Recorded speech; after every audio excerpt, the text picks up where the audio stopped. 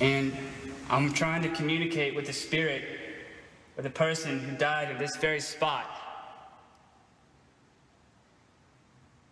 Can you tell me your name?